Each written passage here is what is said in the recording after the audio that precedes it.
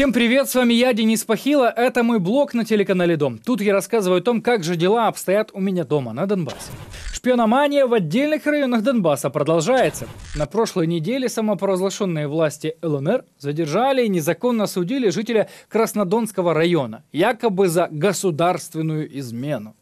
Мужчину приговорили к шести годам лишения свободы так называемая прокуратура ЛНР заявила, что задержанный раскаялся и активно способствовал раскрытию и расследованию преступления. Поэтому его заключили на 6, а не на 13 лет, как это обычно делает группировка в отношении так называемых шпионов.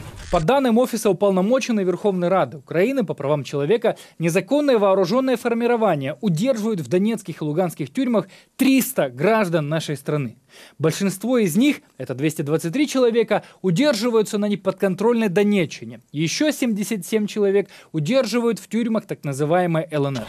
Я напомню, что 300 – это число людей, о печальной судьбе которых точно известно. Ведь есть еще десятки, если не сотни людей, которых попросту нет в базах данных, их нет в списках.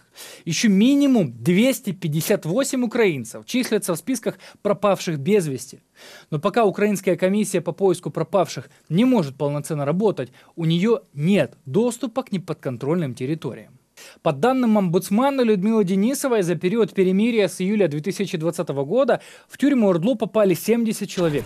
И речь идет о тех, кто были взяты в плен, либо осуждены за шпионаж в отношении Украины. И я так полагаю, что мужчина, осужденный ЛНР, о котором я говорил в начале, еще не попал в базу данных омбудсмена. Это и к тому, что события развиваются очень стремительно. Людей в Урдло чуть ли не пачками ловят, незаконно осудят, ну и попросту шьют им дела. И снова здравствуй, русский мир, как говорится. Сегодняшний день российская страна, оккупационные власти э, этих территорий, они э, придумывают разные причины, чтобы игнорировать процесс переговоров по поводу э, возвращения или, как говорят, обмена всех на всех. Ничего не происходит. Абсолютно. От слова совсем. Последний это был, когда весной 2020 года. И это э, больше ничего не, э, не произошло. То есть находят разные отговорки, что какие-то процессуальные очищения не произошло, еще что-то. То есть у них этих граждан 300 человек.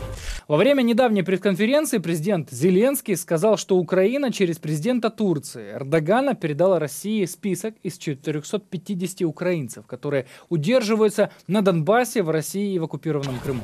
В Кремле отказались комментировать эту информацию.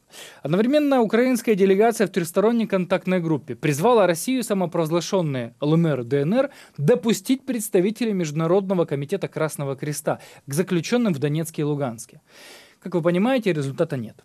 На первый план снова выходит политика, большая политика, пока сотни простых украинских семей ждут возвращения своих жен, мужей, отцов и матерей. Друзья, напоминаю вам, что ваш комментарий, лайк и подписка помогают продвигать наш канал. Спасибо за доверие и до встречи.